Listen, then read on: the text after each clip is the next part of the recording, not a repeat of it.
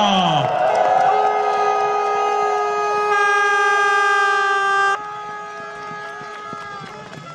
Auf Position 2, second place, aus Polen, Kamil!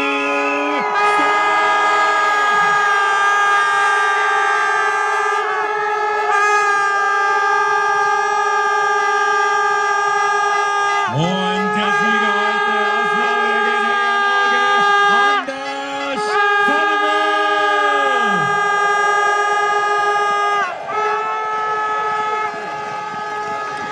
Woo!